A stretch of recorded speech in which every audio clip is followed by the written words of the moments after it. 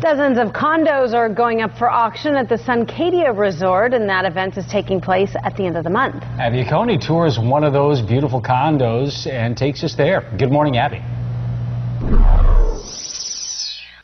And good morning, you guys. So happy to be giving you a tour of one of the 39 Northwest style condos that's going up for auction here at the end of May. And we're at the Lodge in Suncadia, and I'm here with the project director, Debbie. Now, Debbie, tell me uh, what are some of the starting bids for these condos? Uh, well, the starting bids um, they're starting at seventy-five thousand for homes that were originally four ninety-five nine, all the way up to a million.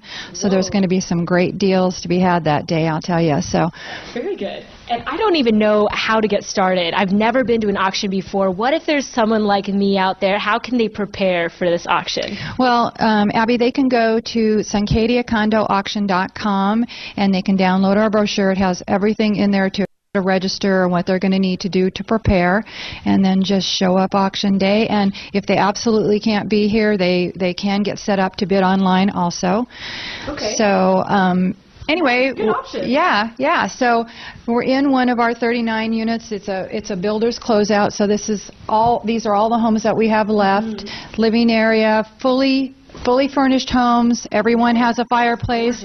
Everyone has a washer and dryer. They have fully stocked kitchens with granite countertops and stainless steel appliances. We this particular one is a one bedroom that you're going to be seeing here. And uh, Oh my what else can I tell you? So much to see. This is just beautiful. I feel like I'm drooling so much. It's so beautiful. Thanks for your time, Debbie. We'll toss it back to you guys in the studio.